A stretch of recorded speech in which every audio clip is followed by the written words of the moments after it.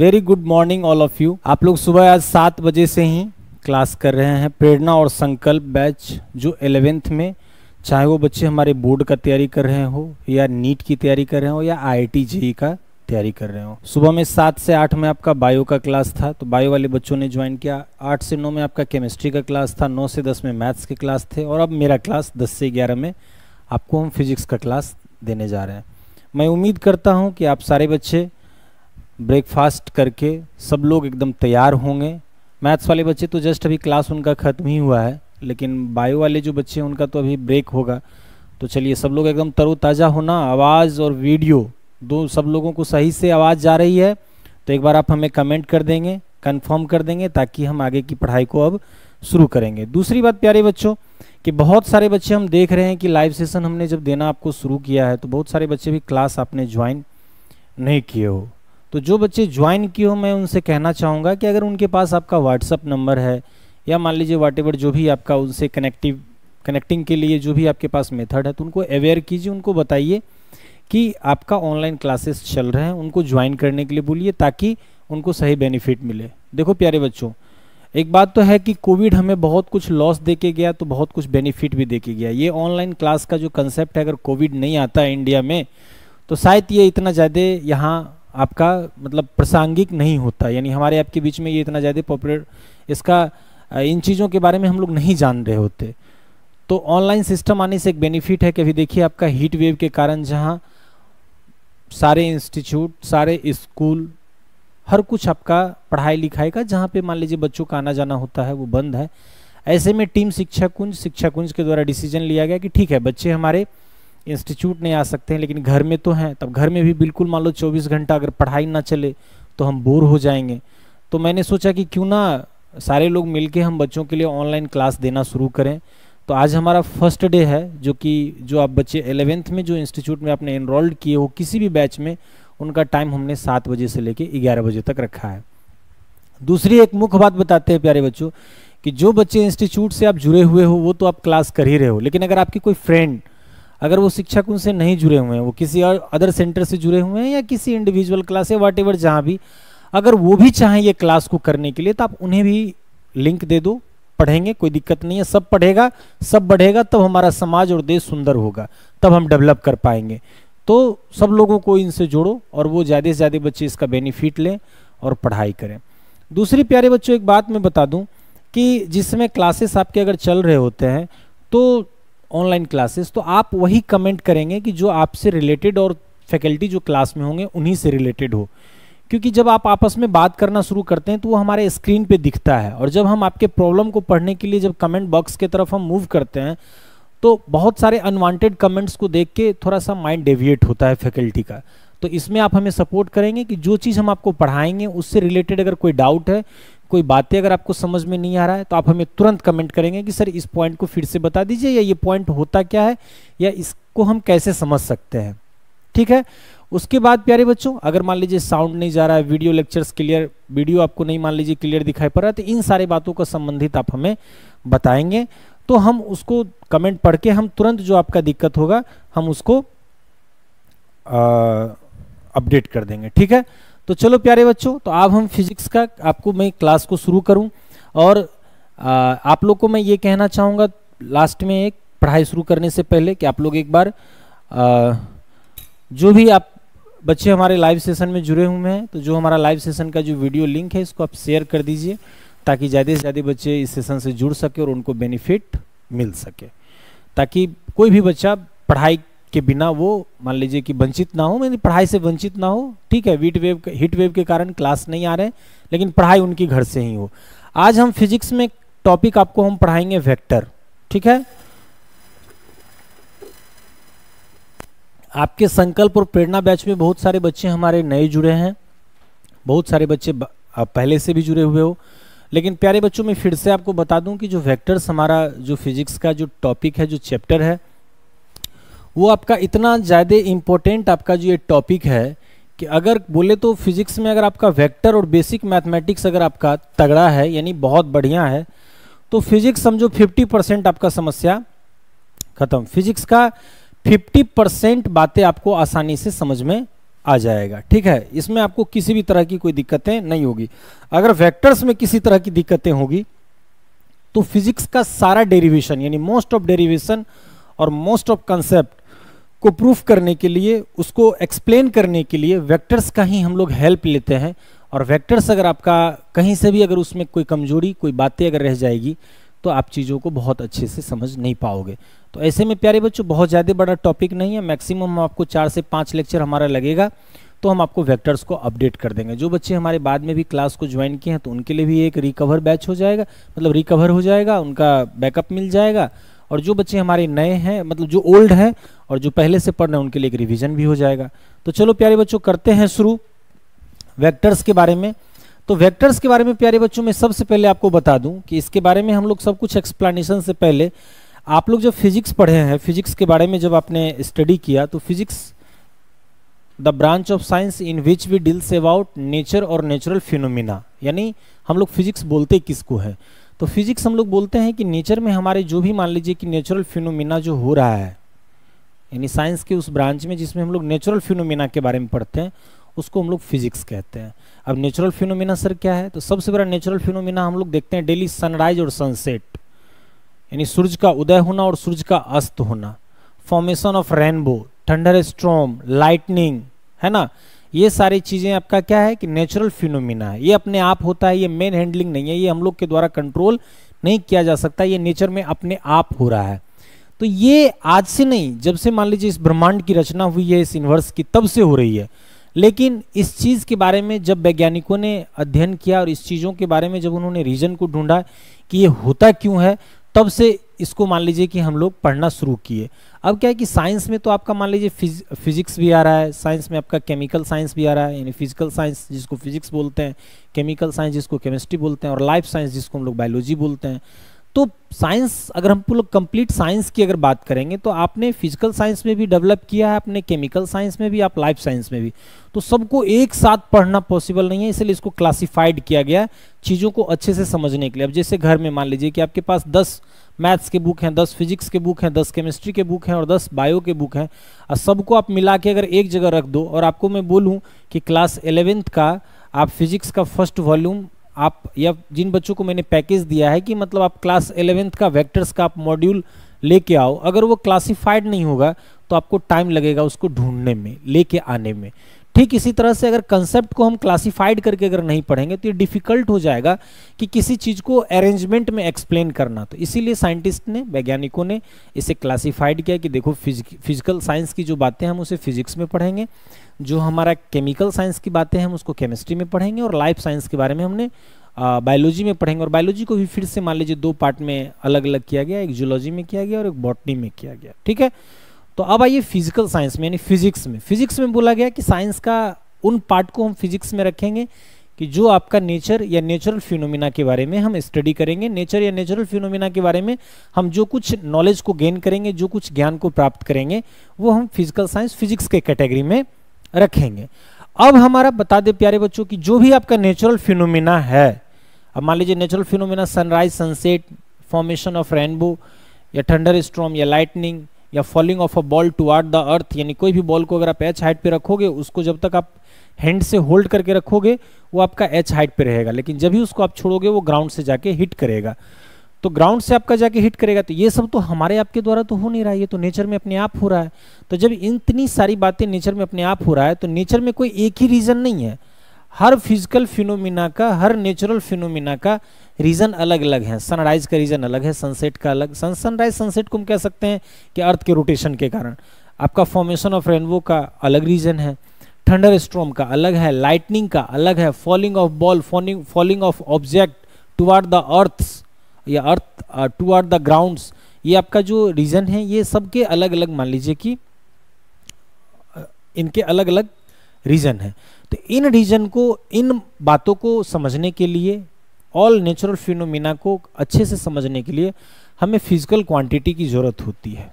अब physical quantity की ज़रूरत होती है तो फ़िज़िकल क्वांटिटी सर क्या क्या होते हैं? तो फ़िज़िकल क्वांटिटी देखो ना लेंथ को मेजर करने के लिए तुम्हें क्या चाहिए था? लेंथ सॉरी किसी भी चीज़ को मेज़र करने के लिए, दो पॉइंट के बीच को मेज़र करने के लिए हम लोग लेंथ बोले। लेंथ के बाद हमने क्या उसमें निकाला? लेंथ अब मान लीजिए कि कोई आपके पास एक रेक्टेंगुलर प्लेट है तो लेंथ को भी दो नाम दिए, एक लेंथ दिए, एक ब्रेथ दिए, यानी जो रेक्टेंगुलर प्लेट में जो बड़ा वाला साइड है, हम उसको लेंथ बोल दिए, जो छोटा वाला साइड है, उसको हम लोग ब्रेथ बोल दिए। अगर वॉल्यूम है तो वहीं पे एल बी एच की ज़रूरत हम लोगों को पड़ गई। ठीक इसी तरह से प्यारे बच्चों, अब टाइम को कैलकुलेट करने के लिए हमें अलग अलग मान लीजिए कि आपको यूनिट्स भी मिला। तो टाइम यानी आपको डे नाइट हो रहे हैं, क्या ड्यूरेशन हो रहा है इसको? इसके लिए हम लोग को टाइम का ज़रूरत पड़ा। तो जो फ़िज़िकल क्वांटिटी आपके पास है, उसमें आपका लेंथ है मास है टाइम है टेम्परेचर है इलेक्ट्रिक करंट है, ये बहुत, जितने मान लीजिए फ़िज़िकल क्वांटिटीज़ हैं, ये आपको नेचुरल फिनोमिना को ईजिली रूप से समझने के लिए नेचुरल फिनोमिना को ईजिली रूप से डिस्क्राइब करने के लिए हमें ज़रूरत पड़ा। फिर बाद में, प्यारे बच्चों, आपने फ़िज़िकल क्वांटिटी का आपने यूनिट्स लिखा। अब यूनिट्स के बारे में आपने पढ़ा और मैंने आपको बताया भी था और सर भी आपको और भी सर भी आपको बताए होंगे और आप पहले से भी क्लास नाइन, टेन में पढ़े होंगे कि फ़िज़िकल क्वांटिटी जो भी हमारे पास हैं, उनको मान लीजिए कि एक्सप्लेन या उनको रिटेन देने के लिए हमें यूनिट की ज़रूरत पड़ी। तो सबसे स्टार्टिंग में आपके पास कौन से यूनिट थे? एफपीएस यूनिट थे, उसके बाद कौन सा आया? सीजीएस यूनिट आया, उसके बाद आपके पास क्या आया? एम आया और बाद में आपके पास एस आया। F P foot pound second यानी लेंथ को आप फुट से मास को पाउंड से टाइम को सेकेंड से मेजर करते थे। सी जी एस में आप लेंथ को सेंटीमीटर से मास को ग्राम में और टाइम को सेकेंड में। एम सिस्टम में प्यारे बच्चों लेंथ को मीटर मीटर से मास को किलोग्राम से और टाइम को सेकेंड से। तो ऐसे मान लीजिए कि अलग अलग सिस्टम में हमने अलग अलग फ़िज़िकल अलग अलग फ़िज़िकल क्वांटिटी के लिए अलग अलग यूनिट्स को फॉलो किया। फिर बाद में हम लोगों को ऐसा unit system of international unit मिला, जिसको हम लोग तीन पार्ट में हमने क्लासिफाइड किया, जिसमें आपका बेसिक यूनिट था, फिर सप्लीमेंट्री यूनिट था और डेराइव्ड यूनिट था। बेसिक यूनिट का संख्या टोटल प्यारे बच्चों सेवन होते हैं। कौन कौन होते हैं? Length, mass, time, temperature, electric current, luminous intensity और अमाउंट ऑफ़ सब्सटेंस। ये सात आपने पढ़ा होगा। सप्लीमेंट्री यूनिट कौन कौन होते हैं सर? प्लेन एंगल और सॉलिड एंगल होते हैं, ये दो होते हैं। और डेराइव्ड यूनिट टू और more than two basic unit के हेल्प से जो हमने तीसरा नया यूनिट बनाया, उसको हम लोग डिराइव्ड यूनिट कहते हैं। तो ये प्यारे बच्चों, आपका फिजिक्स का ना फ़र्स्ट चैप्टर जो है, उसमें आपको यूनिट एंड मेज़रमेंट आपको पढ़ना है। या physical quantity and their measurement करके भी नाम होता है। या फ़िज़िकल वर्ल्ड भी मान लीजिए किसी किसी बुक में इस चैप्टर का नाम दिया गया। अगर इस चैप्टर के बारे में जो बच्चे मेरे पढ़े हुए हैं तो ठीक है। अगर जो आप लाइव सेशन में जो जुड़े हुए हो और आप नहीं पढ़े हो तो घबराना नहीं है। एक दो दिन में मैं इसका रिकॉर्डेड लेक्चर जो भी आपका duration three hours four hours के जो ये लेक्चर्स होंगे, उसको हम सेपरेट रिकॉर्ड करके आपको यूट्यूब पे अपलोड कर देंगे, आप देख लेना। बस खाली वेक्टर को स्टार्ट करने से पहले इसके बारे में आपको मुझे बताना था क्योंकि फिजिक्स जब शुरू कर रहे हैं तो कुछ शुरुआती तो बातें होनी चाहिए। अब आओ प्यारे बच्चों, जिस तरह से हमने फ़िज़िकल क्वांटिटी को सिस्टम ऑफ़ इंटरनेशनल यूनिट के लिए हमने तीन पार्ट में कैटेगराइज किया बेसिक यूनिट सप्लीमेंट्री यूनिट और आपका डिराइव्ड यूनिट ठीक इसी तरह से फ़िज़िकल क्वांटिटी तो हमारे पास बहुत सारे हैं। कोई फ़िज़िकल क्वांटिटी मान लीजिए हमारे पास तो एक, दो तो है नहीं। अब फ़िज़िकल क्वांटिटी को हम लोग क्लासिफाइड करेंगे। फ़िज़िकल क्वांटिटी को इजिली समझने के लिए हम उसको क्लासिफाइड करेंगे। उसी क्लासिफिकेशन में आपका एक चैप्टर आ रहा है वेक्टर्स बेसिक मैथमेटिक्स तो फिजिक्स में जो यूज़ होंगे वो है वेक्टर्स आ रहा है। सर ये वेक्टर्स तो अब दो टाइप से इनको क्लासिफाइड किया गया। फ़िज़िकल क्वांटिटी बहुत सारे ऐसे फ़िज़िकल क्वांटिटी हैं कि जिनके पास सिर्फ़ मैग्नीट्यूड होते हैं। और बहुत सारे ऐसे फ़िज़िकल क्वांटिटी हैं कि जिनके पास मैग्नीट्यूड और डायरेक्शन दोनों होते हैं। दूसरी बातों में प्यारे बच्चों ये कह सकते हैं हम लोग कि कुछ फ़िज़िकल क्वांटिटी को हम जब यूज़ करते हैं, जब किसी फ़िज़िकल क्वांटिटी को हम रिप्रेजेंट करते हैं, उसको रिप्रेजेंट करने के लिए अगर हमको सिर्फ़ और सिर्फ़ उसका मैग्नीच्यूड का अगर ज़रूरत पड़ता है, और कुछ फ़िज़िकल क्वांटिटी ऐसे हैं कि जिसके मैग्नीच्यूड के साथ उनका डायरेक्शन भी नेसेसरी होता है रिप्रेजेंट करने के लिए। तो इसी सिलसिले में आगे हम लोग पढ़ते हैं कि फ़िज़िकल क्वांटिटी को डायरेक्शन के आधार पे फ़िज़िकल क्वांटिटी को डायरेक्शन के आधार पे दो पार्ट में क्लासिफाइड किया गया। अब दो पार्ट में क्लासिफाइड किया गया तो फ़िज़िकल क्वांटिटी को broadly classified into two categories on the basis of direction तो पहला दिया गया स्केलर्स और दूसरा दिया गया वेक्टर्स अब स्केलर प्यारे बच्चों, हम लोग किसको बोलते हैं? तो दो दो physical quantities which have magnitude only but no direction यानी वो फ़िज़िकल क्वांटिटी कि जिसको रिप्रेजेंट करने के लिए या वो फ़िज़िकल क्वांटिटी जिसको लिखने के लिए हमें सिर्फ़ और सिर्फ़ मैग्नीट्यूड की ज़रूरत पड़ती है। डायरेक्शन की ज़रूरत नहीं पड़ती है। हम वैसे फ़िज़िकल क्वांटिटी को स्केलर क्वांटिटी कहते हैं। स्केलर्स क्वांटिटी कहते हैं। उसको स्केलर की कैटेगरी में रखते हैं। अब वो सारे फ़िज़िकल क्वांटिटी हमारे पास कौन कौन है? तो एग्जांपल प्यारे बच्चों मास लेंथ टाइम और वर्क अब मास के बारे में मान लेते हैं कि किसी बॉडी का अगर मास आपके पास मैं बोलूँ, अगर किसी बॉडी का मास एक मिनट में थोड़ा सा हाँ ठीक है।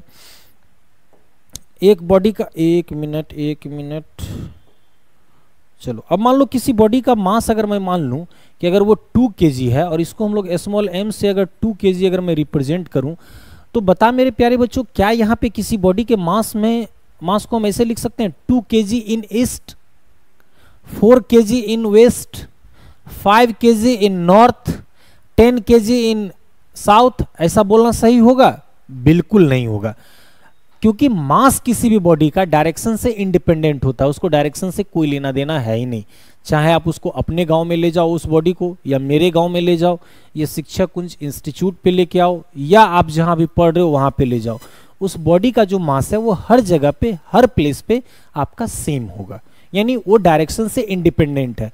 तो जो फ़िज़िकल क्वांटिटी को लिखने के लिए या जिस फ़िज़िकल क्वांटिटी को रिप्रेजेंट करने के लिए अगर हमें डायरेक्शन की ज़रूरत पड़ती ही नहीं है, सिर्फ़ और सिर्फ़ मैग्नीट्यूड की ज़रूरत पड़ती है तो हम उसे क्या बोलते हैं? स्केलर क्वांटिटी बोलते हैं और उसका एग्ज़ाम्पल आपका मास है। एक बात और मैं प्यारे बच्चों बता दूँ, जब मैंने यूनिट डायमेंशन यूनिट मेज़रमेंट की बात और मैंने फ़िज़िकल क्वांटिटी देर मेज़रमेंट की बात मैंने जब छेड़ा तो किसी भी फ़िज़िकल क्वांटिटी अगर आपका प्यारे बच्चों, अगर एक आपका ए मान लीजिए ए नाम का अगर कोई फ़िज़िकल क्वांटिटी है तो हम ए नाम के फ़िज़िकल क्वांटिटी को जब भी रिप्रेजेंट करेंगे ना तो एन यू में रिप्रेजेंट करेंगे एन यू यानी किसी भी फ़िज़िकल क्वांटिटी को लिखने के लिए कम से कम दो चीज़ तो अपन को चाहिए ही चाहिए।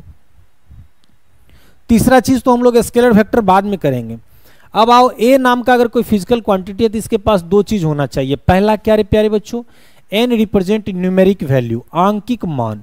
इसको हम लोग क्या बोलते हैं? न्यूमेरिक वैल्यू अब न्यूमेरिक वैल्यू बोले तो क्या? One two three five zero point one zero point five zero point six hundred thousand जो भी आप लिखते हो। यू क्या है प्यारे बच्चों रे ये यू रिप्रेजेंट करता है यूनिट है ना? अब जैसे मान लीजिए मास आपने लिखा तो मास में प्यारे बच्चों, जो आपका ये टू है ना, ये न्यूमेरिक वैल्यू है। आ के आपका क्या है? यूनिट है। तो आप देख लो कि कितना भी, अगर किसी बॉडी का अगर मैं लेंथ की अगर बात करूँगा लेंथ अगर आप प्यारे बच्चों 20 सेंटीमीटर लिखते हो तो 20 इसका क्या है? न्यूमेरिक वैल्यू है और सेंटीमीटर आपका क्या है? आपका इसका यूनिट है। तो मान लीजिए यहाँ पे 20 सेंटीमीटर 20 मीटर भी हो सकता है 200 मीटर भी हो सकते हैं 200 किलोमीटर भी हो सकते हैं, थाउज़ेंड किलोमीटर हो सकते हैं। हाँ या ना? तो ये सारे थाउज़ेंड किलोमीटर बोले तो थाउज़ेंड आपका क्या हो गया? न्यूमेरिक वैल्यू हो गया और किलोमीटर आपका क्या हो गया? यूनिट हो गए। अब ध्यान देना है कि मैं अब यहाँ पे फिर से आता हूँ अगेन कम बैक क्योंकि मैंने फ़िज़िकल क्वांटिटी को लिखने का बात मैंने आपको बताया। तब यहाँ पे क्या है कि वो सारे फ़िज़िकल क्वांटिटी जिनको लिखने के लिए, जिनको रिप्रेजेंट करने के लिए, हमें सिर्फ़ मैग्नीच्यूड मैग्नीच्यूड क्या? टू के यानी मान लीजिए सिर्फ़ टू के अगर लेंथ की बात करेंगे तो टेन सेंटीमीटर यानी जो भी मान लीजिए कि किसी भी बॉडी को मतलब किसी भी फ़िज़िकल क्वांटिटी को लिखने के लिए अगर हमें डायरेक्शन की ज़रूरत ना पड़े डायरेक्शन की ज़रूरत ही ना पड़े। एकदम बढ़िया बात दिमाग में एकदम बैठा हो कि किसी भी फ़िज़िकल क्वांटिटी को लिखने के लिए या एक्सप्लेन करने के लिए या रिप्रेजेंट करने के लिए हमें डायरेक्शन की ज़रूरत अगर नहीं पड़ती है तो हम उसे स्केलर क्वांटिटी कहते हैं। ऑल फ़िज़िकल क्वांटिटी मस्ट है मैग्नीट्यूड सारे फ़िज़िकल क्वांटिटी के पास तो मैग्नीट्यूड होना ही चाहिए। ज़ीरो केजी का ज़ीरो ग्राम का zero centigram zero milligram zero decigram का क्या कोई बॉडी का इमेजिन कर सकते हैं? कोई, क्या कोई बॉडी बिना मास का एग्जिट करेगा? सबसे छोटा अगर मान लीजिए आपका एलिमेंट्स की अगर मैं बात करूँ तो इलेक्ट्रॉन प्रोटॉन और न्यूट्रॉन उसमें भी आपका क्वार्ज आ गया है। जब आप क्लास ट्वेल्थ में आओगे तो मैं पढ़ाऊँगा। क्या कोई बॉडी बिना मास का एग्जिट करेगा? नहीं करेगा। A body can't be imagine without mass लेकिन body a body can be represent a body can be represent without direction यानी किसी बॉडी को अगर हम लोग को रिप्रेजेंट अगर करना है, किसी physical quantity a physical quantity can't be represent can't be represent by the help can't be represent without magnitude यानी बिना मैग्नीट्यूड का किसी भी फ़िज़िकल क्वांटिटी को हम नहीं लिख सकते हैं। लेकिन बिना डायरेक्शन का हम फ़िज़िकल क्वांटिटी को लिख सकते हैं।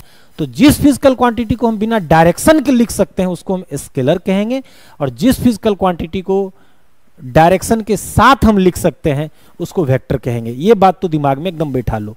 तो मैग्नीच्यूड तो सबके पास होते हैं। मैग्नीच्यूड सबके पास हो गए। डायरेक्शन किसी के पास है, किसी के पास नहीं है। तो मैग्नीच्यूड तो कॉमन हो गया। तब जिसके पास डायरेक्शन है वो वेक्टर जिसके पास डायरेक्शन नहीं है, वो स्केलर अब आ जाए मेरे प्यारे बच्चों यहाँ पे, मैंने डिफिनीशन में आपको बताया है कि those physical quantity which have magnitude only but no direction यानी सिर्फ़ मैग्नीट्यूड है डायरेक्शन नहीं है. तो हम इसको क्या बोलते हैं स्केलर अब एग्ज़ाम्पल में आपका क्या आ गया मास लेंथ अब किसी भी बॉडी का, अगर मान ले बेटा ये मेरा मार्कर है ना तो मैं length of length of marker या लेंथ ऑफ़ पेन टैब है ना? ये मान लीजिए कि आपका पेन है ना? तो लेंथ ऑफ़ मार्कर या लेंथ ऑफ़ पेन मैं बोल देता हूँ यहाँ पे आ, मैं 10 सेंटीमीटर ले लेता हूँ 10 सेंटीमीटर अब ये बता कि लेंथ ऑफ़ मार्कर जो मैंने 10 सेंटीमीटर ले लिया तो ये क्या शिक्षा कुंज में ये 10 सेंटीमीटर है? तू भी घर पे ले जाएगा तो टेन सेंटीमीटर मेरे गाँव में भी ले जाएगा तो टेन सेंटीमीटर अर्थ पे टेन सेंटीमीटर मून पे टेन सेंटीमीटर कहीं भी इसका वैल्यू आपका क्या होगा? Ten centimetre. मेरे जेब में भी रहेगा तो टेन सेंटीमीटर, तुम्हारे भी जेब में रहेगा तो टेन सेंटीमीटर। यानी इस पेन का लेंथ को रिप्रेजेंट करने के लिए हमें डायरेक्शन की ज़रूरत नहीं है। यानी वो सारे लेंथ जिसको लिखने के लिए, जिसको रिप्रेजेंट करने के लिए हमें डायरेक्शन की ज़रूरत नहीं होगी। उस लेंथ को हम क्या बोलेंगे प्यारे बच्चों रे? स्केलर बोलेंगे। तो ये आपका क्या हो गया? स्केलर। अब आइए टाइम।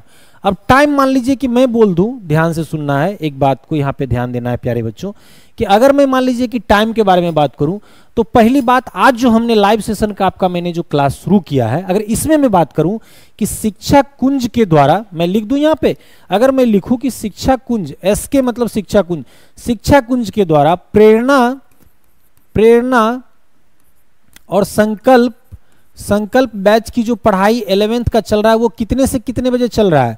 तो तुम बोलोगे कि सर सात एम से 11 एम तक आज आपने पढ़ाया 31 मई को। टोटल कितना आवर हो गए प्यारे बच्चों फोर आवर्स हो गए। बायो वाले स्टूडेंट के लिए थ्री आवर्स मैथ वाले स्टूडेंट के लिए थ्री आवर्स और जो बच्चे हमारे मैथ्स भी पढ़े हो, उनके लिए फोर आवर्स जो बच्चे हमारे मैथ्स के साथ बायो भी पढ़े हो उनके लिए फोर आवर्स अब बता इसको रिप्रेजेंट करने के लिए क्या कोई डायरेक्शन की ज़रूरत है? कि शिक्षा कुंज के द्वारा प्रेरणा और संकल्प इलेवेंथ बैच को चार घंटा पूर्व में पढ़ाया गया? या पाँच घंटे पश्चिम में घूम के पढ़ाया गया? ऐसी बातें बोलेंगे, इसका आंसर होगा? नहीं होगा।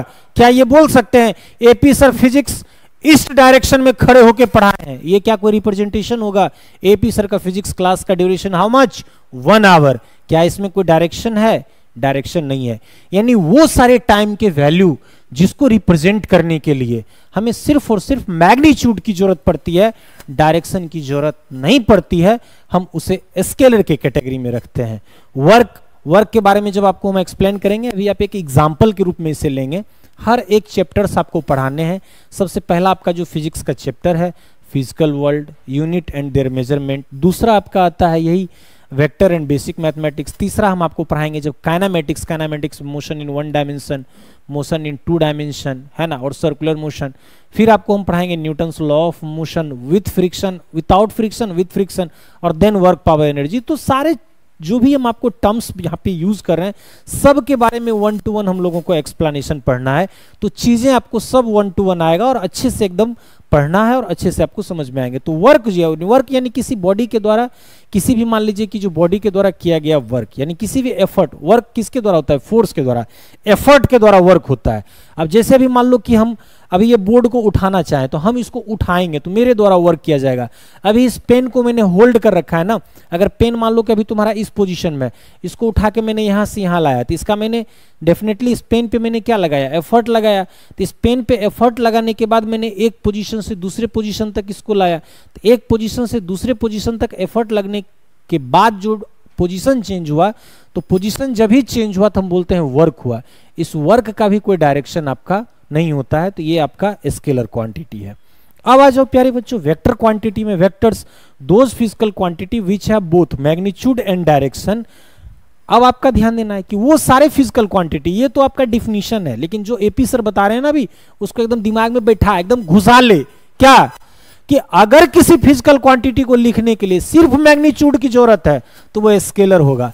अगर किसी फ़िज़िकल क्वांटिटी को लिखने के लिए मैग्नीट्यूड के साथ डायरेक्शन की ज़रूरत होगी तो आपका वेक्टर होगा। यानी किसी को भी अगर मान लो कोई भी फ़िज़िकल क्वांटिटी को रिप्रेजेंट करने के लिए हमें डायरेक्शन की अगर ज़रूरत होती है तो वो आपका वेक्टर होगा। मैग्नीट्यूड तो पहले से है, बिना मैग्नीट्यूड का तो फ़िज़िकल क्वांटिटी एग्जिट ही नहीं करेगा। उसकी कल्पना ही नहीं है इमेजिन ही नहीं कर सकते हैं।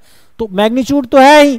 एक बार मैग्नीच्यूड का एक बार तो आपका डायरेक्शन का ज़रूरत नहीं पड़ा तो स्केलर बोले, अब डायरेक्शन का ज़रूरत पड़ेगा तो हम क्या बोलेंगे इसको? वेक्टर बोलेंगे। अब इसके एग्ज़ाम्पल में आते हैं वेलोसिटी। अब बड़ा एग्ज़ाम्पल अच्छा वाला पहला ही लिखा हुआ वेलोसिटी। रात आपका बहुत तेज तूफ़ान आया था। बहुत तेज अचानक से हवा बहना शुरू हुआ था।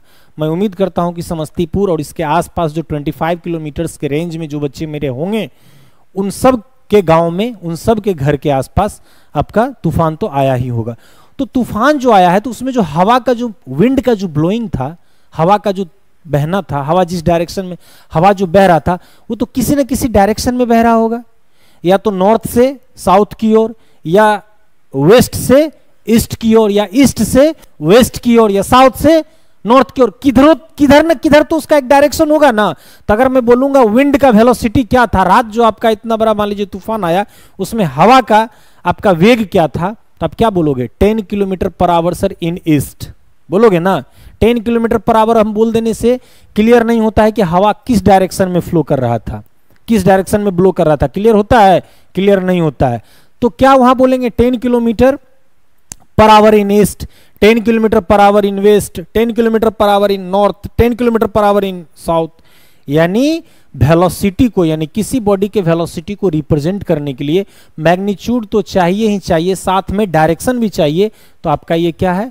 वेक्टर्स क्वांटिटी है। क्या बोलेंगे इसको? वेक्टर्स एक्सेलरेशन एक्सेलरेशन के बारे में अपने क्लास टेंथ में पढ़ा होगा। एक्सेलरेशन के बारे में मैं सिंपली सारे बच्चों को मैं बता दूँ तो एक्सेलरेशन ए इक्वल टू क्या पढ़े हो? V minus u by t भूल गया सब लोग। एक्सेलरेशन को हम लोग ए से रिप्रेजेंट करते हैं। V आपका क्या है? फाइनल वेलोसिटी ऑफ़ बॉडी है। U क्या है? इनिशियल बॉडी है। इनिशियल वेलोसिटी ऑफ़ बॉडी है।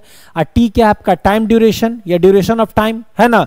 तो देखो, आपका चाहे वो इनिशियल वेलोसिटी हो या फाइनल वेलोसिटी है तो वेलोसिटी ना? तो इनिशियल वेलोसिटी में भी डायरेक्शन होगा, और फाइनल वेलोसिटी में भी डायरेक्शन होगा। तो जो यहाँ सब करके जो रिज़ल्ट आएगा तो उसके पास तो मैग्नीट्यूड और डायरेक्शन दोनों आएगा। और आपके टाइम के पास सिर्फ़ क्या है? मैग्नीट्यूड है। तो रिज़ल्ट में तो मैग्नीट्यूड और डायरेक्शन दोनों होंगे ना। तो एक्सेलरेशन का जो डायरेक्शन है, वो वेलोसिटी के डायरेक्शन पे डिपेंड करता है। तो वेलोसिटी के पास डायरेक्शन है तो एक्सेलरेशन के पास भी डायरेक्शन होगा। वेलोसिटी आपका वेक्टर क्वांटिटी है तो एक्सेलरेशन भी आपका वेक्टर क्वांटिटी होगा। नेक्स्ट आपका मोमेंटम जस्ट आपको मैं वेक्टर जब कंप्लीट करूँगा और काइनेमेटिक्स जब कंप्लीट करने के बाद आपको जब एनएलएम पढ़ाऊँगा तो पहला हमारा जो एक फ़िज़िकल क्वांटिटी आएगा लीनियर मोमेंटम लीनियर मोमेंटम के बारे में फ़िलहाल मैं फॉर्मूला बता दूँ। लीनियर मोमेंटम को हम लोग पी से डिनोट करते हैं। और लीनियर मोमेंटम इक्वल टू होता है mass into velocity M for mass V for velocity तो मास तो प्यारे बच्चों, आपका स्केलर क्वांटिटी है। मास को रिप्रेजेंट करने के तो सिर्फ़ मैग्नीट्यूड चाहिए। लेकिन वेलोसिटी के पास मैग्नीट्यूड और डायरेक्शन दोनों है। तो आपका यहाँ पे लीनियर मोमेंटम का डायरेक्शन किस पे डिपेंड करेगा? डायरेक्शन ऑफ़ वेलोसिटी पे। तो यानी वेलोसिटी आपका वेक्टर क्वांटिटी है तो आपका लीनियर मोमेंटम भी क्या होगा? वेक्टर क्वांटिटी होगा। फोर्स अब देखो यहाँ पे फोर्स इक्वल टू क्या पढ़े हो? क्लास नाइन्थ में F equal to M A अरे हाँ या ना? तो एफ़ एम ए तो एम आपका क्या है? मास मास तो आपका स्केलर क्वांटिटी है ना? एक्सेलरेशन को अभी तुमने तुरंत वेक्टर बोला है ना? तो आपका यहाँ पे फोर्स का डायरेक्शन किस पे डिपेंड करेगा? एक्सेलरेशन के डायरेक्शन पे डिपेंड करेगा नहीं फोर्स भी आपका क्या हो गया? वेक्टर क्वांटिटी हो गया। तो क्या फिर से दोज फ़िज़िकल क्वांटिटी विच है both magnitude and direction example में आपका velocity acceleration momentum force ETC यानी और भी बहुत सारे जो फ़िज़िकल क्वांटिटी है, इन सारे क्वांटिटी को हम लोग वेक्टर्स क्वांटिटी कहते हैं। बता मेरे प्यारे बच्चों, जो भी लोग लाइव सेशन में भी जुड़े हुए हो, क्या तुम लोगों को अच्छे से अभी जो मैंने लेक्चर्स आपको जो मैं प्रोवाइड कर रहा हूँ, जो मैंने आपको स्केलर और वेक्टर का जो मैंने आपको एक्सप्लेनेशन दिया, आपको अच्छे से समझ में आया? इस रिगार्डिंग कोई कंफ्यूजन भी? अगर कोई कंफ्यूजन तो आप हमें कमेंट करेंगे। नहीं, अगर आपको सब कुछ समझ में आ रहा है, कोई दिक्कत नहीं है तो आप कह देंगे, सर ओके एक बार आप कमेंट कीजिए, मैं आपके कमेंट का वेट कर रहा हूँ। और बहुत कम बच्चे आज के लाइव सेशन में जुड़े हुए हो तो ये बहुत बुरी बात है। जब इतना मेहनत से मैंने आप लोगों के लिए क्लास जब मैंने लाइव सेशन लेके आया है, और सुबह में सात बजे से हमारे सारे टीम सारे faculty event non teaching staff back to back आपके लिए जब इतना मेहनत कर रहे हैं तो प्यारे बच्चों, आपको तो मेहनत करना होगा ना। कैरियर तो आपका है ना। और देखो, कोई बड़े चीज़ को पाने के लिए, फिर से प्यारे बच्चों, में एक बात बता देता हूँ कि किसी बड़े चीज़ को पाने के लिए बड़ा काम नहीं करना की ज़रूरत पड़ता है। बड़े चीज़ को पाने के लिए ना नियमित और एक सही डायरेक्शन में काम करना पड़ता है। अगर आप चाहते हो कि एक साल के बाद अगर किसी मैराथन रेस में मैं मैराथन का विनर बनूं तो वो आप एक रात पहले कितना भी आप दौड़ लो कितना भी आप मान लो कि ट्रैक मशीन पे दौड़ लो या किसी ग्राउंड में जाके दौड़ लो, आपकी मैराथन की तैयारी नहीं होगी। आप अगर आज से, अगर डेली आप अगर, पहला दिन आप 100 मीटर, अगले दिन 200 मीटर, अगले दिन 250 मीटर, अगले दिन 500 मीटर धीरे धीरे अगर आप अपने स्पीड को बढ़ा तो बढ़ा, बढ़ाने के साथ साथ अगर आप मान लीजिए कि आप डिस्टेंस को भी बढ़ाते चलोगे तो एक दिन ऐसा आएगा कि 10 किलोमीटर 5 किलोमीटर या 25 किलोमीटर या 50 किलोमीटर, कितना भी मान लो कि जो डिस्टेंस का अगर मैराथन होगा तो आपके जीतने की चांस बढ़ जाएगी। तो इसीलिए प्यारे बच्चों, पढ़ाई भी ऐसा ही चीज़ है। कोई एक दिन पढ़ के ना आज तक कोई इंजीनियर बना है, ना कोई डॉक्टर बना है, ना कोई साइंटिस्ट बना है, इवन किसी भी सेक्टर में पढ़ाई के दम पे तो एक दिन में कुछ भी नहीं हुआ है। अगर आप पढ़ाई के दम पे अपने जीवन में कुछ करना चाहते हो तो आप में एक नियमित और डेडिकेशन, बोलते हैं ना, रेगुलर और डेडिकेशन, एक समर्पण और एक नियमित अभ्यास। दोनों की ज़रूरत है। समर्पण यानी आपके अंदर में एक इच्छा हो कि मुझे पढ़ के कुछ करना है और नियमित अभ्यास का मतलब रेगुलर रूप से आपको प्रैक्टिस करना होगा रेगुलर रूप से आपको पढ़ना होगा रेगुलर रूप से आपको अभ्यास करना होगा।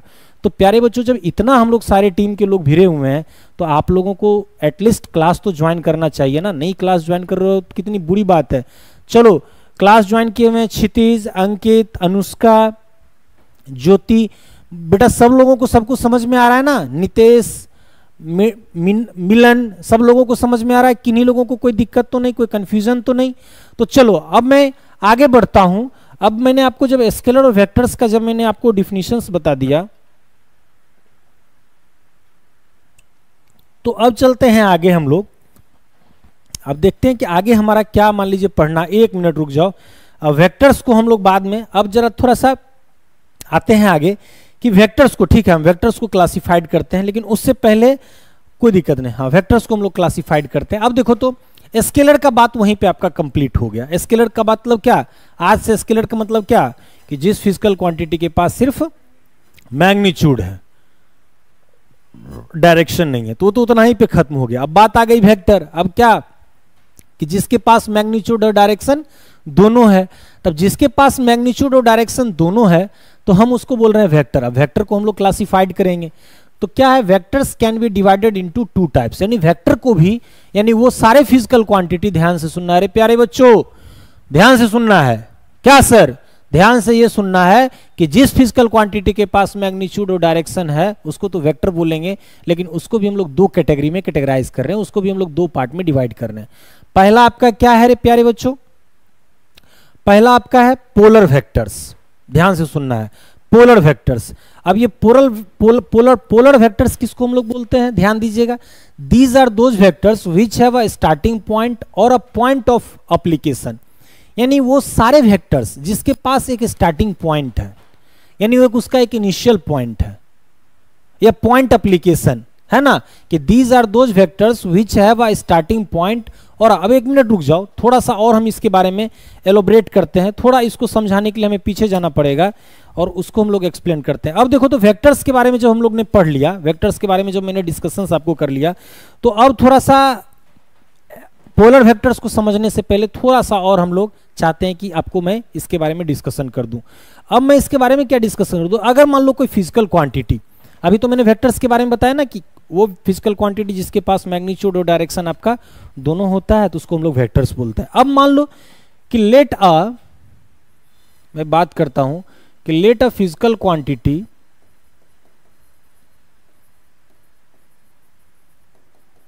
let a physical quantity A which have which have which have magnitude and direction यानी हमने एक फ़िज़िकल क्वांटिटी ए ले लिया है, जिसके पास प्यारे बच्चों मैग्नीट्यूड और डायरेक्शन दोनों है। उसके पास मैग्नीट्यूड और डायरेक्शन दोनों है। तो मैग्नीट्यूड और डायरेक्शन दोनों आपका क्या हो गया? वेक्टर हो गया। तो हम लिखेंगे then A then A is said to be then A is said to be said to be vector quantity यानी इसको हम लोग क्या बोलेंगे? कि वेक्टर क्वांटिटी बोलेंगे। अब देखो। अब हम लोग वेक्टर क्वांटिटी तो बोलेंगे, लेकिन इसको रिप्रेजेंट कैसे करेंगे? तो यहाँ पे आपका हेडिंग आ जाता है, जो छूट गया आपका कि रिप्रेजेंटेशन ऑफ़ वेक्टर इसको आप कॉपी में हेडिंग देंगे और इसको नोट कर लेंगे, है ना? रिप्रेजेंटेशन ऑफ़ वेक्टर यानी वेक्टर को रिप्रेजेंट कैसे करते हैं? अगर मान लीजिए कोई फ़िज़िकल क्वांटिटी है, जिसके पास मैग्नीट्यूड जिसके पास मैग्नीट्यूड और डायरेक्शन आपका दोनों है, ध्यान देना है प्यारे बच्चों की फ़िज़िकल क्वांटिटी जिसके पास मैग्नीट्यूड और डायरेक्शन आपका दोनों है तो उसको हम लोग वेक्टर बोलते हैं, उसको रिप्रेजेंट कैसे करेंगे? तो ए जो हमारा अभी यहाँ पे लिए फ़िज़िकल क्वांटिटी है, जिसके पास मैग्नीट्यूड और डायरेक्शन आपका दोनों है, उसको तो वेक्टर बोलेंगे ना? इसको रिप्रेजेंट करते हैं ऐसे। ए के ऊपर में लगाते हैं हम लोग एरो ए के ऊपर में क्या लगा दिए? एरो अब इसको क्या पढ़ेंगे? इसको पढ़ेंगे हम लोग प्यारे बच्चों वेक्टर ए ए वेक्टर नहीं, इसको पढ़ेंगे वेक्टर ए ए वेक्टर नहीं। Vector A A vector. समझ गए? तो क्या आपका इसको हम लोग क्या पढ़ेंगे? वेक्टर ए या ए वेक्टर। समझ गए? आया समझ में सब लोगों को? तो चलो तो यहाँ पे ध्यान देना रिप्रेजेंटेशन ऑफ़ वेक्टर में आपका ए के ऊपर में एरो का सिंबल इसी तरह से प्यारे बच्चों रे, अगर आपका बी है और बी आपका मान लीजिए एक ऐसा फ़िज़िकल क्वांटिटी जिसके पास मैग्नीट्यूड और डायरेक्शन आपका दोनों है तो इसको जब हम लोग रिप्रेजेंट करेंगे तो बी के ऊपर में क्या लगा देते हैं आपको? एरो का सिंबल तो ये आपका हो गया वेक्टर बी इसको क्या पढ़ेंगे? वेक्टर बी ठीक इसी तरह से अगर आपका सी है इसके ऊपर में एरो का सिंबल लग गया तो आपका ये क्या हो गया? वेक्टर सी अब इस एरो का मतलब क्या है? जरा हम लोग समझते हैं। ध्यान देना है। एरो का मतलब आपका है ध्यान दीजिएगा। एरो जब हम लोग इसको लिखते हैं तो एरो में देखिए तो प्यारे बच्चों एरो का एक स्टार्टिंग पॉइंट और एक आपका एंडिंग पॉइंट एक साइड आपका देखिए एरो का सिंबल लगा हुआ है दूसरा एक, एक आपका प्लेन लाइन है। हम इस लाइन को ध्यान दीजिए, ये जो आपका है, ये एक इसका और ये। तो हम इसके इनिशियल पॉइंट को बोलते हैं टेल क्या बोलते हैं? और इसको क्या बोलते हैं हम लोग? हेड बोलते हैं। समझ गए ना? एक एरो में आपका टेल और हेड तो होता ही ना है। कि एरो का मान लीजिए कि सामने वाले जो आपका होता है, इसको हम लोग क्या बोलते हैं? टेल और इसको क्या बोलते हैं? हेड या तो इसको टेल बोल सकते हैं, इसको टिप भी बोल सकते हैं। हेड को टिप भी बोलते हैं, ठीक ना?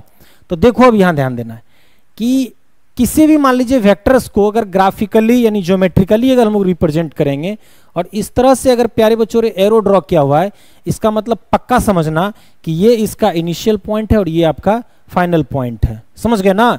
कोई भी फ़िज़िकल क्वांटिटी अगर वो वेक्टर क्वांटिटी है, और उसको अगर मान लीजिए ग्राफिकली या ज्योमेट्रिकली अगर रिप्रेजेंट करना होगा तो हम एक एरो के द्वारा रिप्रेजेंट करते हैं और इस एरो का जो इनिशियल पॉइंट आपका है और ये फाइनल पॉइंट है। यहाँ पे ध्यान दीजिएगा कि टेल और हेड में जो लेंथ ऑफ़ एरो है लेंथ ऑफ़ जो एरो है यहाँ पे, एकदम ध्यान से सब लोग लेंथ ऑफ़ जो आपका एरो है लेंथ ऑफ़ एरो ना बताता है मैग्नीट्यूड ऑफ़ फ़िज़िकल क्वांटिटी या मैग्नीट्यूड ऑफ़ वेक्टर क्वांटिटी ये तो वेक्टर ही ना है तो magnitude of vector quantity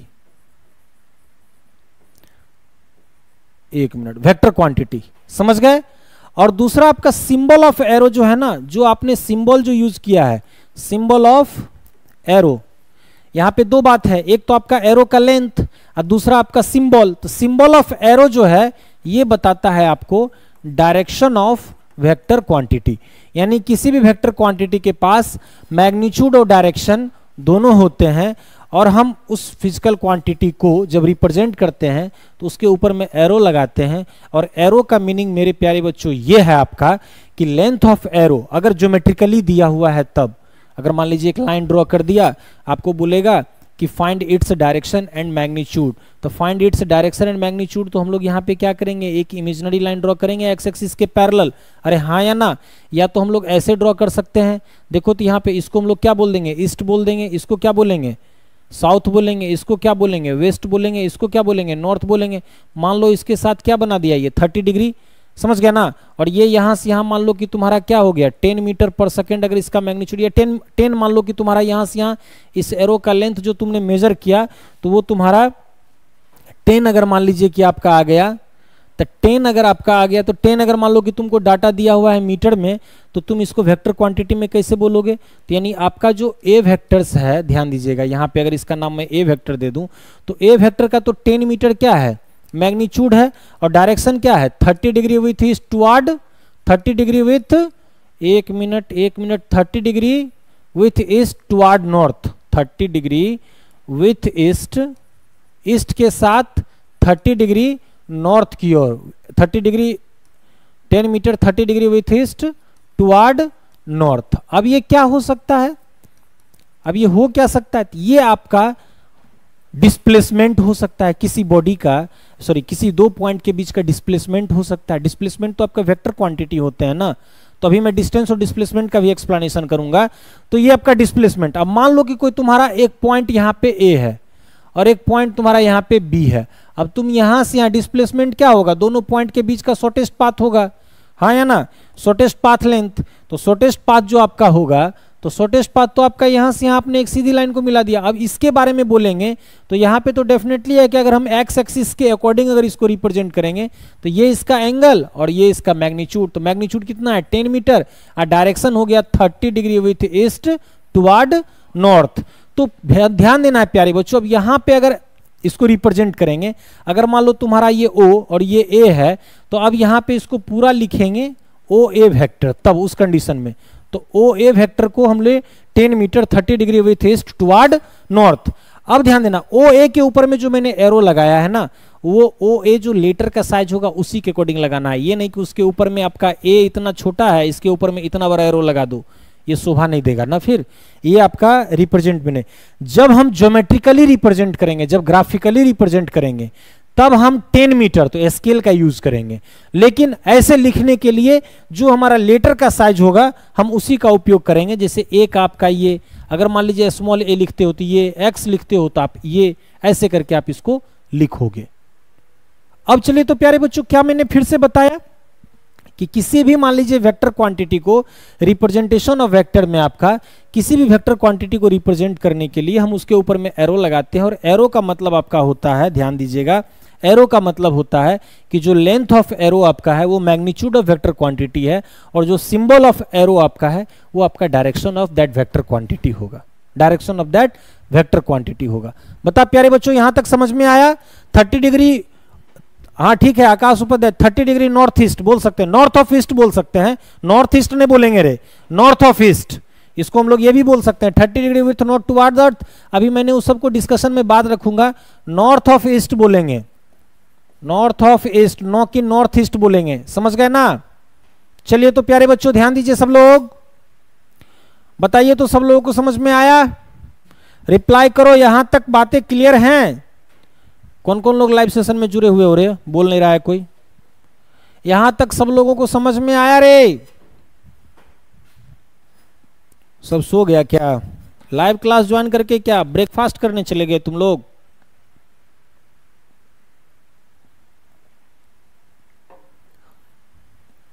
yes sir yes sir चलो, क्षितिज, अनुष्का। स्टडी गेमिंग क्या नाम है रे प्यारे बच्चों? नाम बता, Akash. Yes sir Jyoti yes sir Priyanshu yes और देन नेक्स्ट और लोग कहाँ हो? स्टडी गेमिंग ये कौन है भैया रे स्टडी गेमिंग स्टडी गेमिंग का हिंदी क्या होता है? नाम बता अपना जल्दी। Study gaming Muskan. अच्छा हाँ अमन। चलो, समझ में आ रहा है प्यारे बच्चों? चल तब, आगे बढ़ते हैं हम लोग। अब रिप्रेजेंटेशन ऑफ़ वेक्टर से बाद, अब हम लोग आगे आते हैं। इसको थोड़ा सा और हम एलोब्रेट करेंगे। इस वेक्टर को मान लीजिए रिप्रेजेंट करने के लिए हमने एरो का सिंबल का यूज़ किया।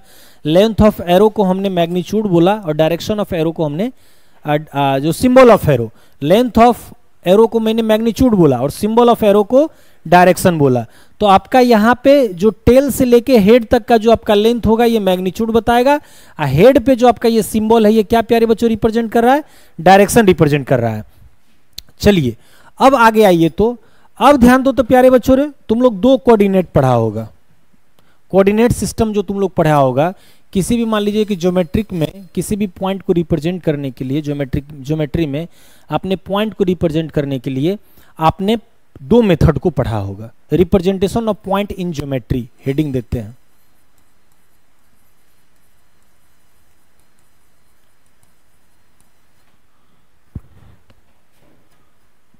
और representation present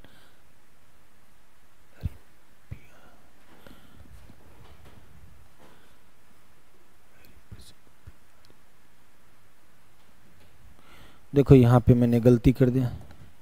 Representation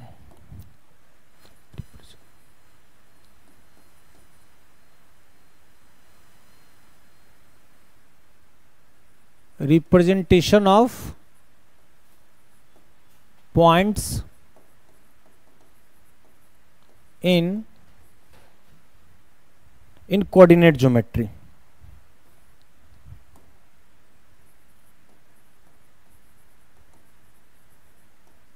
in coordinate geometry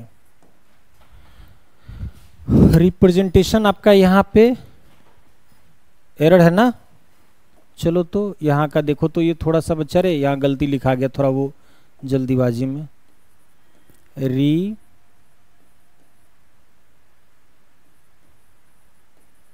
Representation of vector. वही बात मेरे को ध्यान में आया कि कहीं पे कुछ मिस्टेक आपका हो गया। Representation of points in coordinate geometry.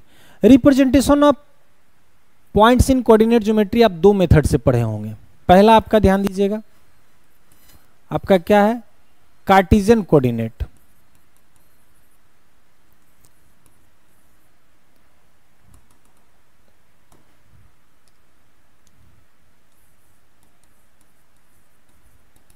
Cartesian coordinate methods और दूसरा आपका पोलर कोऑर्डिनेट मेथड्स।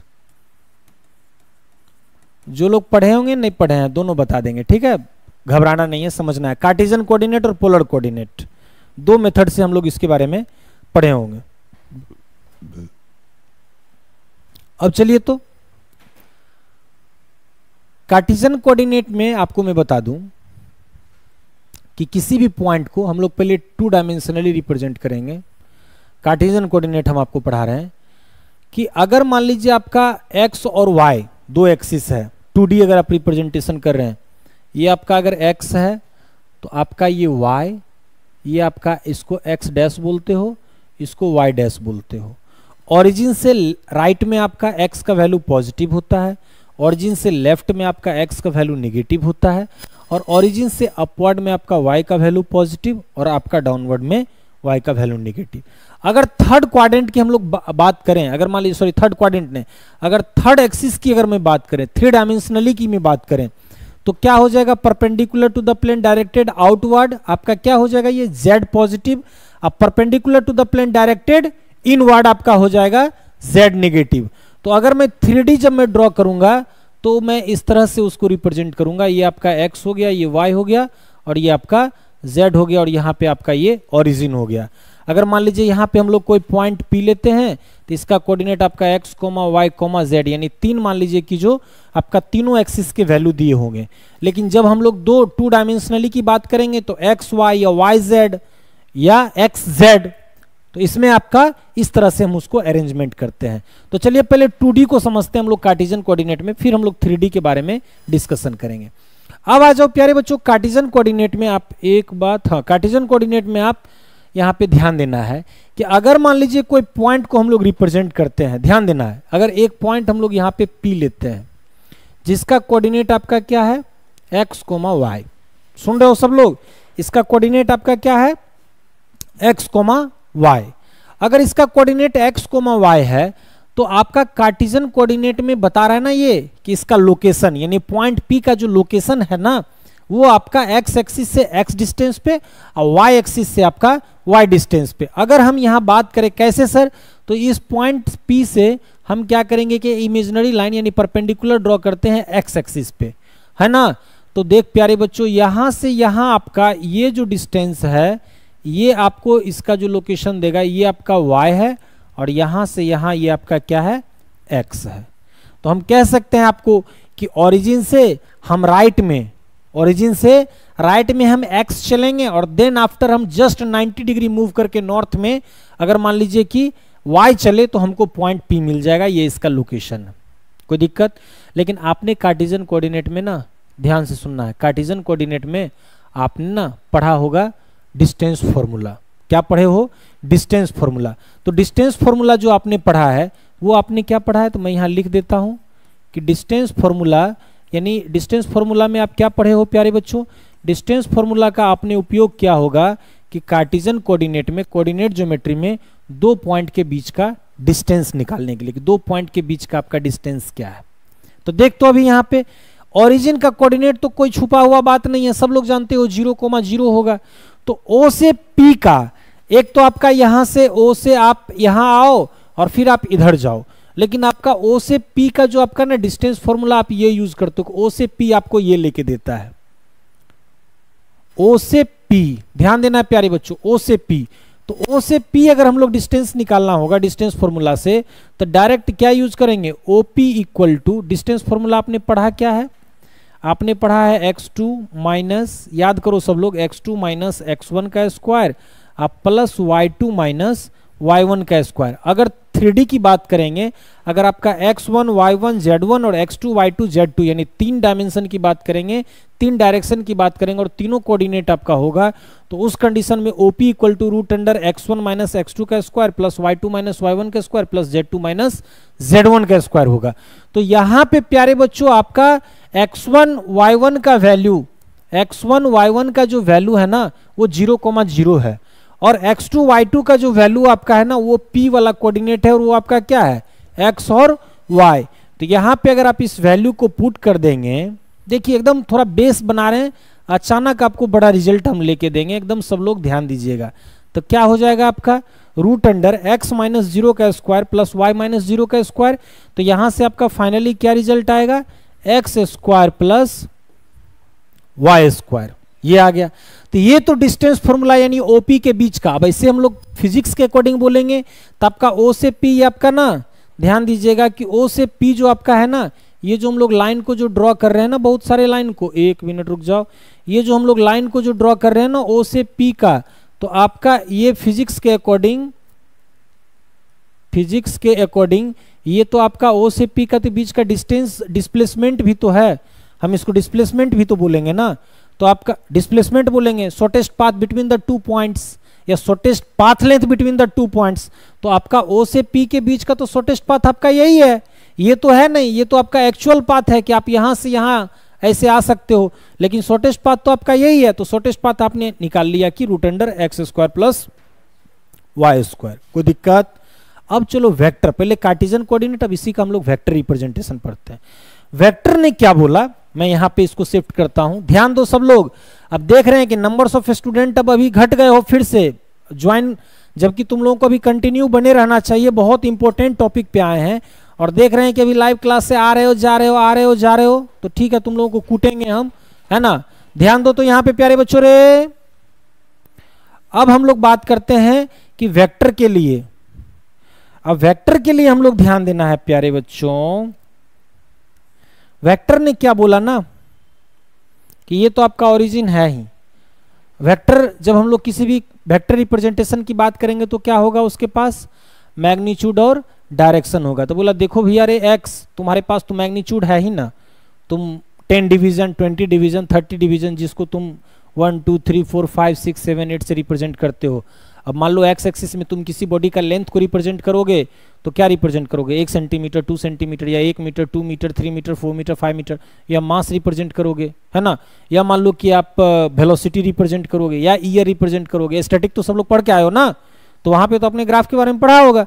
तो एक्स एक्सिस के पास मैग्नीट्यूड है, बोला आप जब ग्राफिकली किसी वेक्टर क्वांटिटी को रिप्रेजेंट करोगे तो उसके पास मैग्नीट्यूड और डायरेक्शन दोनों होगा।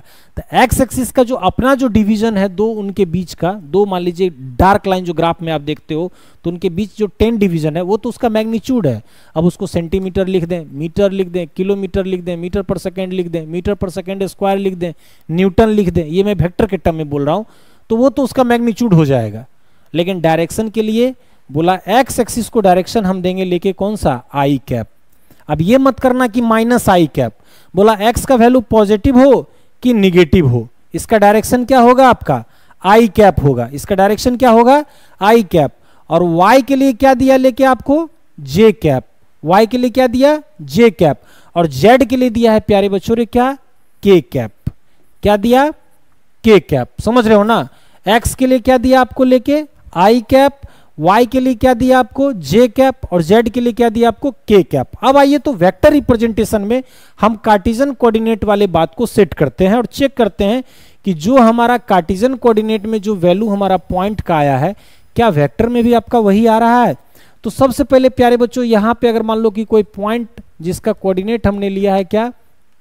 एक्स कोमा वाई तो x कोमा वाई को वेक्टर में क्या बोले आपको? कि वेक्टर का जो रिप्रेजेंटेशन हम लोग करते हैं, ध्यान दीजिएगा, कि वेक्टर का जो रिप्रेजेंटेशन है, इसका एक इनिशियल पॉइंट होता है और एक आपका फाइनल पॉइंट और यहाँ पे लगा दिए एरो आप मिड में भी एरो लगा सकते हो, आप यहाँ पे भी एरो लगा सकते हो, इसके लिए टेंशन लेना नहीं है. एरो का मतलब ही आपका होता है कि डायरेक्शन एरो का मतलब डायरेक्शन और लेंथ ऑफ़ एरो का मतलब आपका मैग्नीच्यूड तो ओ से पी तो इसका मैग्नीच्यूड है और आपका वेक्टर का डायरेक्शन लगा हुआ है तो क्या? यानी एरो का डायरेक्शन लगा हुआ है तो क्या? इसका मान लीजिए एरो का जो सिंबल लगा हुआ है तो डायरेक्शन ना देगा। तो अभी आपने कार्टिजन कोऑर्डिनेट में आपने root under X square plus Y square आपने मैग्नीच्यूड काउंट कर लिया। डायरेक्शन को तो काउंट आपने नहीं किया ना। तो डायरेक्शन को आपने नहीं काउंट किया तो यहाँ पे ध्यान दीजिएगा प्यारे बच्चों, एकदम ध्यान देना है कि अभी बोला वेक्टर अगर आप इस पॉइंट को रिप्रेजेंट करोगे तो वेक्टर रिप्रेजेंट करेगा ओ से पी को। ये आपका हो गया आई कैप ये आपका हो गया जे कैप है ना? एक्स और वाई के लिए हम लोग बात कर रहे हैं। तो ध्यान दीजिएगा प्यारे बच्चों कि आपका ओपी वेक्टर तो ओपी वेक्टर इक्वल टू जब हम लोग रिप्रेजेंट करेंगे इस पॉइंट को तो क्या लिखेंगे यहाँ? बोला एक्स में आप आई कैप लगा दो और वाई में आप क्या लगा दो? जे कैप लगा दो। यानी OP vector equal to I cap plus x I cap plus y J cap sir ये कैप क्या है? ये कैप क्या लगा रहे हो? तो प्यारे बच्चों, बता दो मैं कार्टिजन कोऑर्डिनेट में कार्टिजन कोऑर्डिनेट में आपका आई कैप जे कैप और के कैप जो एक्स वाई और जेड के डायरेक्शन के लिए यूज़ करते हैं, और इसका मैग्नीच्यूड भी आपका वन होता है। इसको आगे चल के हम लोग यूनिट वेक्टर भी बोलेंगे, इसके बारे में हम आपको बताएँगे। समझ गए ना? तो आपका ये ओपी वेक्टर इक्वल टू आ गया x I cap plus y J cap आपका इसका रिप्रेजेंटेशन आपका ये है। अब चलो तो थोड़ा सा और आगे मैं बता दूँ क्या? कि अगर ओपी वेक्टर का सर सिर्फ़ हमको मैग्नीच्यूड अगर निकालना होगा तो इसका निकालते हैं मॉडुलस ओपी वेक्टर का अगर हम लोग को मैग्नीच्यूड चाहिए तो इसको क्या बोलते हैं? मॉडुलस ऑफ़ वेक्टर क्या बोलते हैं प्यारे बच्चों? मॉडुलस ऑफ़ वेक्टर तो मॉडुलस अब देखो ये मोड का सिंबल है, लेकिन वेक्टर में इसको क्या पढ़ते हैं? मॉडुलस पढ़ते हैं। और इसका जब वैल्यू निकालना होता है तो यहाँ लगाते हैं स्क्वायर रूट और आई के साथ आपका क्या है? तो एक्स का स्क्वायर और आपका जे के साथ क्या है?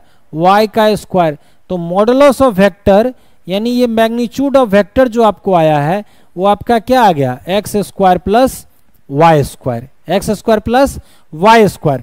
तो आप देखो यहाँ पे, अभी जो मैंने, अब देखो, इस, अब यहाँ जब हम लोग ओपी वेक्टर में मॉडलस लगा दिए तो हम इसको ओपी भी लिख सकते हैं, और इसको हम लोग बोल सकते हैं कि मॉडलस अगर हम किसी वेक्टर का निकालते हैं, इसका मतलब है कि मैग्नीच्यूड ऑफ़ वेक्टर यानी हमने इसका सिर्फ़ मैग्नीच्यूड निकाला है।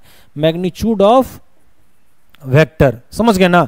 तो मैग्नीच्यूड जो मैंने root under x square plus y square निकाला है तो मेरा कहने का मतलब है कि क्या आपको जो कार्टिजन कोऑर्डिनेट में जो मैग्नीच्यूड आपका आया, वही आपका क्या वेक्टर के फॉर्म में भी हम लोग रिप्रेजेंट किए तो यही मैग्नीच्यूड आपको मिला ना? लेकिन वेक्टर में आपको एक्स्ट्रा क्या? डायरेक्शन थोड़ा वेट करना है। डायरेक्शन का भी हम आपको अलग से बताएँगे। डायरेक्शन के बारे में भी आपको अलग से हम समझाएँगे। अब चलिए तो प्यारे बच्चों, थोड़ा वेट करना है। अब आगे अभी ये टॉपिक हमने स्टार्ट ही किए इसको हम लोग तुरंत फिनिश नहीं कर सकते हैं, थोड़ा टाइम लगेगा। सब के बारे में बताना है ना? अब देखो पोलर कोऑर्डिनेट तो पोलर कोऑर्डिनेट को देखो कैसे रिप्रेजेंट किया गया। पोलर कोऑर्डिनेट को रिप्रेजेंट करने के लिए आपको पोलर कार्टिजन कोऑर्डिनेट अब पोलर कोऑर्डिनेट को जरा समझ लो। पोलर कोऑर्डिनेट जो बच्चे वेक्टर्स पढ़ भी लिए हो क्लास कंटिन्यू बने रहो, तुम्हारे लिए बड़ा फ़ायदा करेगा। अभी जो पढ़ा रहे ना वेक्टर्स एकदम बोर्ड लेवल से लेके जे एडवांस लेवल तक, एक भी क्वेश्चन चाहे वो किसी भी किताब का, किसी भी पैकेज का, चाहे कहीं का भी हो, नहीं रुकेगा। क्लास रेगुलर बीच में तुम लोग जो छुपा छुपी खेल रहे हो ना, चोर नुकैया, कि सर इधर हम छुप गए, आपको दिख रहे हैं, सर हम इधर छुप गए, आपको हम दिख रहे हैं, ये कभी तुम्हारा यहाँ पे सबका दिख रहा है कि करंट व्यूवर्स मेरे पैनल पे दिख रहा है, कभी वो बढ़ता है, कभी घटता है, कभी बढ़ता है, फिरकी मार रहे हो। यानी दो मिनट पढ़ मतलब दो, बहुत पढ़ लिए हैं, तनी पानी पी के आते हैं, तनी घूम के आते हैं, तनी टहल के आते हैं, तनी ब्रेकफास्ट करके आते हैं। बेटा, ऐसे पढ़ाई नहीं होगी।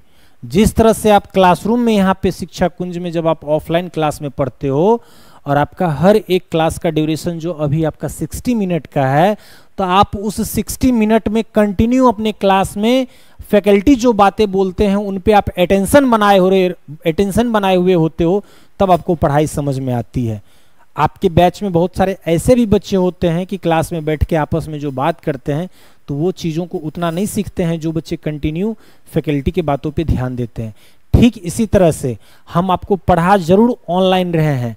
आप हमसे ज़रूर दूर हैं, लेकिन आप अपने माइंडसेट को, आप अपने दिल में एक कंसंट्रेशन पैदा करो, एक जज्बा पैदा करो। वो जज्बा क्या पैदा करोगे कि, सर, मैं जहाँ भी बैठा हूँ मैं अपने स्टडी रूम को, मैं अपने स्टडी प्लेस को, मैं क्लासरूम में कन्वर्ट करूँगा।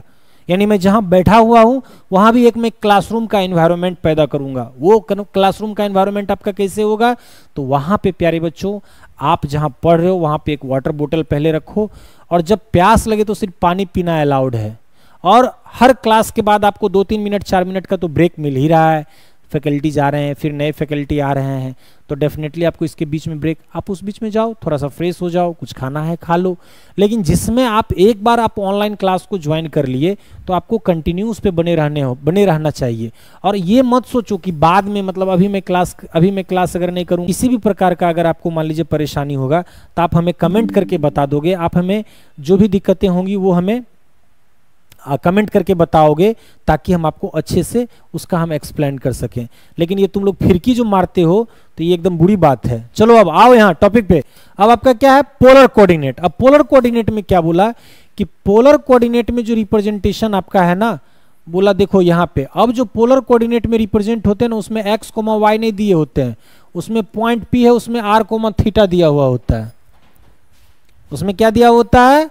आर कोमा थीटा पॉइंट के रिप्रेजेंटेशन में, कार्टिजन कोऑर्डिनेट में आपका एक्स कोमा वाई लेकिन पोलर कोऑर्डिनेट में आर कोमा थीटा। इसका मतलब क्या मेरे प्यारे बच्चों रे?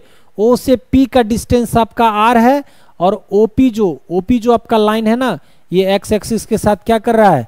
थीटा एंगल बना रहा है। सब लोग यहाँ पे अटेंशन देंगे कि आपका ओ से पी का डिस्टेंस क्या है आपका? आर और एक्स एक्सिस के साथ ये एंगल कितना बना रहा है आपका? थीटा। यहाँ पे आपको एक्स कोमा वाई का वैल्यू नहीं दिया हुआ है। तो सर, क्या एक्स कोमा वाई का वैल्यू हम निकाल नहीं सकते हैं? बिल्कुल निकाल सकते हैं। सर, कैसे निकालेंगे? हम पॉइंट पी से प्यारे बच्चों क्या करेंगे ना? कि यहाँ पे एक परपेंडिकुलर को ड्रॉ कर देंगे। और पॉइंट पी से जब हम लोग परपेंडिकुलर को ड्रॉ करेंगे तो क्या हम इसका नाम एम दे दें? तो यानी आपका ओ पी एम या ओ एम पी देखो तो देखने में एक आपका एक राइट एंगल ट्रेंगल है ना? तो राइट एंगल ट्रेंगल है तो ये तो आपका 90 डिग्री का एंगल बना रहा है ना यहाँ पे? हाँ या ना? तो 90 डिग्री का जब एंगल आपका बना रहा है तो देख तो यहाँ पे राइट एंगल ट्रेंगल में अगर मैं साइन थीटा की बात करूँगा तो sine theta equal to perpendicular upon hypotenuse होता है ना? तो क्या हो जाएगा? M P by O P हो जाएगा। तो देखो तो साइन थीटा इक्वल टू ध्यान देना है कि एम पी का तो वैल्यू आपको निकालना ही है। ओपी का वैल्यू तो ऑलरेडी आपको पोलर कोऑर्डिनेट में दिया हुआ है। तो यहाँ से क्या हो जाएगा आप क्या प्यारे बच्चों? M P equal to R sine theta अरे समझ में आ रहा है? दूसरी बात, प्यारे बच्चों, यहीं पे मैं अगर निकालूँगा यहाँ पे कॉस थीटा तो कॉस थीटा इक्वल टू क्या होता है? बेस अपन हाइपोटेनस तो बेस आपका क्या है? ओ एम और हाइपोटेनस आपका क्या है? ओ पी तो देख तो cos theta equal to cos theta equal to O M by R तो यहाँ से ध्यान देना है O M equal to R cos theta अरे हाँ या ना? तो O M equal to R cos theta यानी आपका ओ एम इक्वल टू ये आपका आ गया आर कॉस थीटा और एम पी इक्वल टू क्या आ गया? आर साइन थीटा तो देखो तो कार्टिजन कोऑर्डिनेट में आपका एक मिनट एक मिनट कार्टिजन कार्टिजन कोऑर्डिनेट में आपका तो यही डिस्टेंस ना एक्स है और ये डिस्टेंस क्या है? वाई तो अभी आपका ये डिस्टेंस क्या आया है? आर कॉस थीटा और ये डिस्टेंस क्या आया है? आर साइन थीटा था right now we can represent the point P as the form of Cartesian coordinate क्या? R cos theta comma R sine theta. और हम लोग कार्टिजन कोऑर्डिनेट में एक्स कोमा वाई में रिप्रेजेंट करते हैं तो एक्स इक्वल टू क्या हो गया आपका? आर कॉस थीटा और वाई इक्वल टू क्या हो गया? R sine theta. तो यदि किसी पॉइंट का रिप्रेजेंटेशन आपको पोलर फॉर्म में अगर आपको दिया हुआ है तो आप उसको कार्टिजन फॉर्म में भी निकाल सकते हैं। और कल हम कार्टिजन फॉर्म में दिया हुआ रहेगा तो उसको पोलर फॉर्म में दोनों को रिलेशन एस्टेब्लिश करके मारेंगे एंट्री वेक्टर का और पढ़ेंगे वेक्टर का फुल एक्सप्लेनेशन तो प्यारे बच्चों आप लोग सुबह से कंटिन्यू क्लास तो कर ही रहे हो। और आज तो हमारा वेक्टर का चूँकि पहला दिन था तो चूँकि फाउंडेशन बनाने में समय लग गया तो कल से और हम लोग इसको रफ्तार देंगे। सुबह से चार घंटे आप लोग क्लास में बने रहे। फिर नेक्स्ट आपके सीनियर का बैच का शेड्यूल है। पढ़ाने का तो मन अभी एकदम पूरा जज्बा है ही। एक घंटे और पढ़ा सकते हैं और मुझे विश्वास है कि आप भी पढ़ सकते हैं। लेकिन फिर नेक्स्ट सीनियर का भी क्लास है तो उन लोगों का भी क्लास का शेड्यूल और सर लोगों का टाइमिंग है। तो आज हम, मैं अपने क्लास को यहीं पे स्टॉप करता हूँ। और फिर कल जब आपका जो रूटीन है, मैं आपको फिर से टेलीग्राम में अपडेट कर दूँगा। व्हाट्सअप कम्युनिटी सॉरी यूट्यूब के कम्युनिटी पे भी आपको पोस्ट चले जाएँगे। उस रूटीन के अकॉर्डिंग आप सारे बच्चे अपडेट रहेंगे क्लास को ज्वाइन करेंगे। और बच्चों, में फिर से बताता हूँ कि घर पर आप ज़रूर हैं, लेकिन पढ़ाई को जारी रखिए। सिलेबस छोटा नहीं है। इसीलिए हम पढ़ाई को नहीं रोक सकते अगर पढ़ाई को रोकेंगे तो फिर हमारा आगे की सिलेबस जो है वो डिस्टर्ब होगा।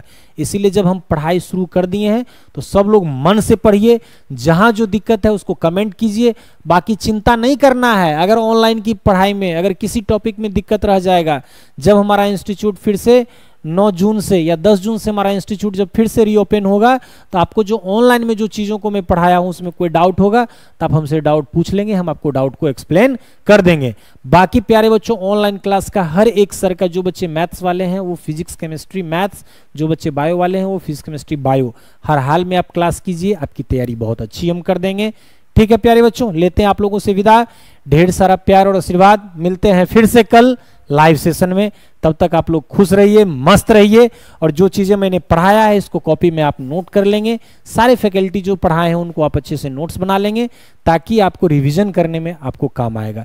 जो बच्चे किसी कारण से अगर क्लास को नहीं ज्वाइन किए हैं नहीं, अगर मान लीजिए कि क्लास किए हैं तो आप ये रिकॉर्डेड आपको ऑलरेडी यूट्यूब पे अवेलेबल होगा। आप उसको पुनः दोबारा देख के आप देख लेंगे। अगर कोई कन्फ्यूज़न होगा तो फिर जब हम कल के क्लास में आपको लाइव आएँगे तो आप उसमें कमेंट करेंगे। आपके प्रॉब्लम को हम सब पहले क्लियर करेंगे, फिर आगे की पढ़ाई करेंगे। तो ठीक है, प्यारे बच्चों, मिलते हैं कल के क्लास में। Thank you